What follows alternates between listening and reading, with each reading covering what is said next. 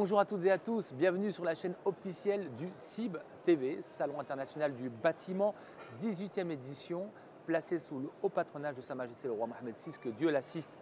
Alors en direct avec nous, Monsieur Reda El Haddaj, donc commissaire général du CIB et directeur général de Urbacom, organisateur délégué de l'édition du CIB. Bonjour. Bonjour Tarek et merci de nous recevoir sur euh, ton plateau, le plateau de CIB TV. Alors, j'ai envie de partager avec vous le fait que le CIB euh, fait euh, une audience assez forte, euh, contrairement aux appréhensions qu'on pouvait avoir du fait de sa délocalisation de Casablanca aux éditions précédentes à El Jadida.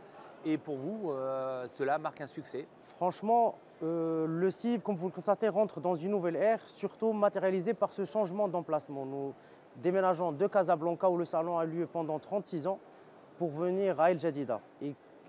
Sincèrement, nous avons quelques appréhensions hmm. concernant le nombre de visiteurs. Mais là, comme vous pouvez le constater sur les allées, les trois, les trois premiers jours du salon étaient une influence incroyable et nous pensons dépasser de très loin nos objectifs initiaux qui étaient de 100 000 visiteurs.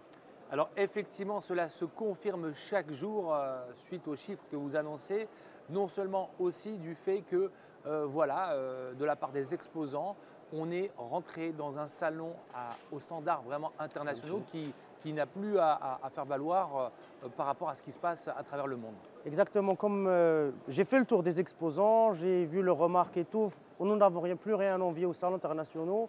Mais cela, euh, je voudrais d'abord remercier pour cela les exposants parce qu'ils ont fait un travail magnifique.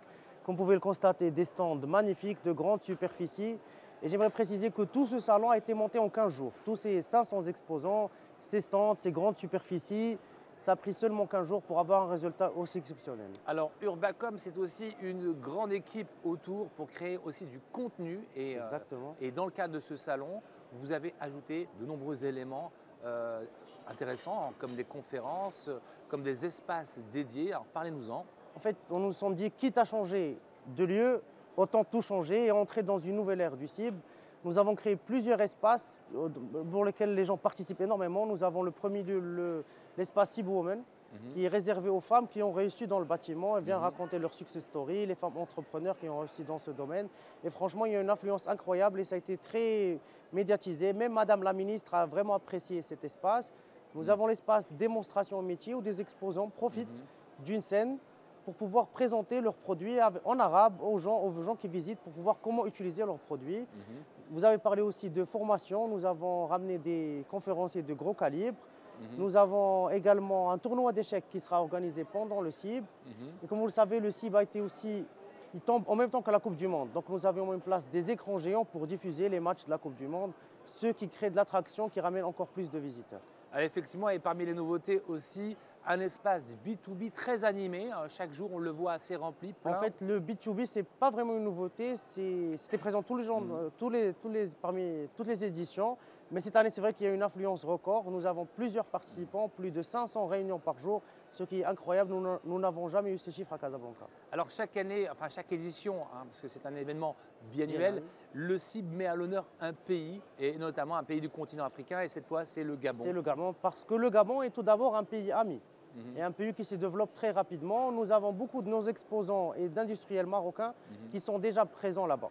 Donc l'idée est de développer ce partenariat et d'exporter de, notre savoir-faire et d'augmenter notre capacité de production en Afrique.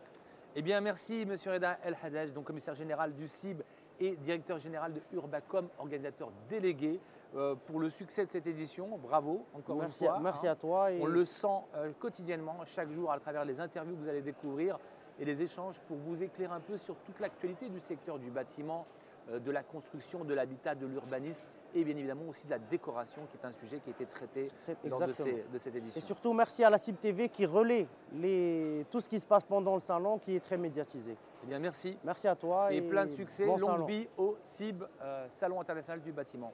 merci.